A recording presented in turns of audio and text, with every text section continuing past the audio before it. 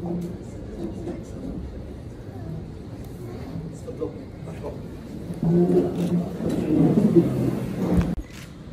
الله الرحمن الرحيم والصلاة والسلام على مولانا رسول الله وآله وصحبه أجمعين. السيد وكيل ملك لدى المحكمة الابتدائية بتطوان. السيد نائب رئيس المحكمة الابتدائية بتطوان. السيد رئيس المجلس العلمي. المحلي السادة النواب البرلمانيون والسادة رؤساء الجماعات السادة المنتخبون السادة رؤساء المصالح العسكرية والأمنية السادة رؤساء المصالح الخارجية السادة ممثلو الهيئات السياسية والنقابية والمهنية والسادة ممثلو فعاليات المجتمع المدني حضرات السيدات والسادة. يسعدني بداية أن أشكركم جميعا على تلبية الدعوة لحضور حفل تنصيب السيدة والسادة رجال السلطة الجدد. الذين التحقوا بالعمل بنفوذ بنفوذ هذه العمالة والذين تم تعيينهم في إطار الحركه الانتقاليه الأخيرة والتي تأتي في إطار بلوره منظور فعال لتدبير الموارد البشرية وخلق دينامية إيجابية ومتجددة في عمل الإدارة الترابية تنفيذا وتنزيلا للتعليمات الملكية الثانية لصاحب الجلالة الملك محمد السادس ادامنا الله النصر والتمكين. وذلك لتحديث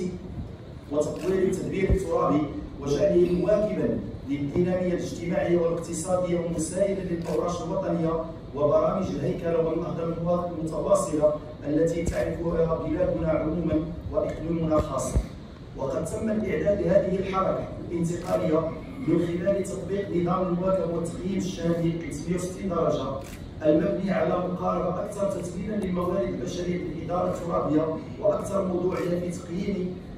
المردودية قوامها الالتزام بمعايير الكفاءة والاستحقاق وتكافؤ الفرص في تولي مناصب المسؤولية وذلك بالانتقال من نموذج الوظيفة العمومية القائم على تدبير المسارات إلى نموذج جديد مبني على تدبير الكفاءات. وجعل هيئة رجال السلطة في صلب التحولات الإيجابية التي تعرفها مؤسسات الدولة وحتى يواكب عمل الإدارة الترابية حاجيات المواطنين والمشاريع ومشاريع التنمية التي تعرفها المملكة المغربية في مختلف الميادين كي تواصل هذه الهيئة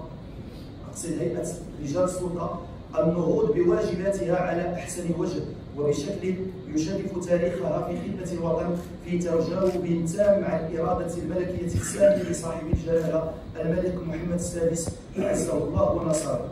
وضمن هذا المنظور جاءت تعيينات رجال السلطة الباقية الوزارية بهذه العمالة كالآتي السيد عبد الرزاق البرجي تم تعيينه كاتب عام لهذه العمالة بعدما كان يشغل نفس المنصب لعمالة اقليم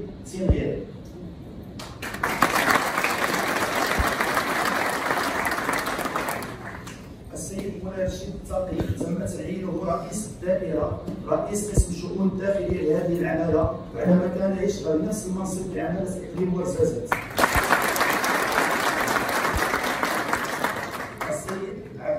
الزرودي تم تعيينه باشا مدينه بعدما كان يشغل منصب رئيس المنطقة الحضريه لسيدي يوسف بن علي بعماله مراكش.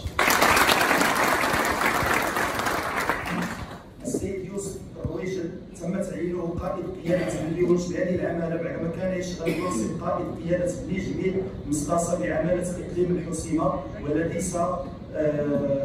ينسحق مستقبلا بمنصب. السيد مصطفى المكاوي تم تعيينه قائد المحافظة الإداري بعدما منصب قائد الملحقة الإدارية الشريفة بالمنطقة الحضارية كاليفورنيا بعمالة مقاطعة عين السيد حسن مستور تم تعيينه قائد الملحقة الإدارية الثانية ببشوية الفنادق بعدما كان يشغل منصب قائد رئيس الملحقة الإدارية الثانية ببشوية خميسات بإقليم خميسات. السيدة فاطمة الزهراء كل شيء تم تعيينها قائد الملحقة الإدارية الثالثة ببشوية فنيدق بعدما كانت تشغل منصب قائد الملحقة الإدارية الأولى ببشوية مديونة. نبيل بن العطار تم تعيينه قائد الملحقه الإدارية الرابعة ببشويه الفنيدق بعدما كان يشغل منصب قائد الملحقه الإدارية السابعة ببشويه المحمديه. كما تم تعيين السيد عبد الرحيم الثالثي تم تعيينه قائدا آه، قائدا رئيس الملحقة الإدارية الثالثة المدير والسيد حموس تم تعيينه قائد الملحقه الإدارية الأولى ببشويه الاثنين وفي إطار هذا المنظور كذلك تمت ترقية السيد يوسف مهداوي القائد السابق لبليونش والذي تمت ترقيته آه، رئيس دائرة مدير الحي الجامعي بالجديدة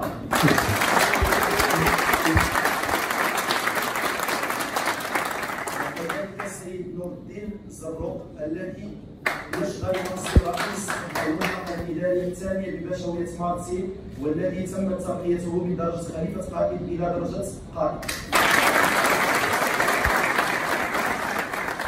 وبهذه المناسبة فإني أرحب بالسادة رجال السلطة الجدد كما أهيب بهم أن يقدموا قيمة مضافة لباقي فريق العمل على مستوى هذه العمالة وأن يعملوا على مسايرة تنزيل المنظور المولوي السامي الداعي إلى الارتقاء بالأداء الإداري القائم على الجدية والنجاعة والمردودية وأن ينخرطوا فعليا في تنزيل النموذج التنموي الجديد الذي دعا به صاحب جلالة الملك محمد السادس نصر الله وأيده وأن يكون عمل السلطة القائم على القرب والإنصات وخدمة المواطنين والمواطنات. هو خارطة الطريق ودليل عملكم في التدبير الإداري والعمل اليومي طيلة فترة مزاولة بكم بهذه الأعمال. كما أهيب بكم والغمس بأعينكم توجيهات المولوية السامية. بجعل الجدية والحزم الحافز لتجاوز الصعوبات ورفع التحديات والتمسك بالقيم الدينية والوطنية وبشعارنا الخالد الله الوطن الملك. بالإضافة إلى المساهمة في تحسين ظروف العيش اليومي للمواطنات والمواطنين في ظل صون الكرامة الإنسانية في كل أبعادها والإنصاف وتكافؤ الفرص والعمل بشكل مستمر على معالجة الإشكاليات المطروحة وإيجاد واقتراح الحلول المناسبة لها والسهر على استكمال ورش الحماية الاجتماعية الذي يعد ركيزة أساسية في نموذجنا التنموي والاجتماعي وهنا لا بد من الإشارة كذلك إلى تكريس المفهوم المتجدد للسلطة الذي لا يقتصر على الإدارة الترابية فقط وإنما يشمل كل القطاعات وجميع المصالح الخارجية والمؤسسات العمومية بل وجميع الهيئات والمجالس المنتخبة. هذا ولا يفوتني أن أدعو السادة رجال السلطة إلى تبني الاستفاق واليقظة في معالجة بعض الظواهر المشينة التي أصبحت بسوء اهتمامات الرأي العام وذلك من خلال العمل على حماية ممتلكات المواطنين والسهر على أمنهم وطمأنيناتهم والتصفي لجريمة ومظاهر الانحراف والحد من ظواهر تفشي البناء غير قانوني والتجديد السري والاحتلال غير قانوني للملك العمومي والاستيلاء على الأرصدة العقارية للعمومية. وكذا دراسة مشاكل المواطنين بالدقة البالغة والسرعة اللازمة بغية إيجاد الحلول المناسبة لها فالمسؤوليات الملقاة على عاتقكم تتطلب منكم التحليل بجدية وروح المسؤولية والاجتهاد والإقرار بالذات في خدمة الصالح العام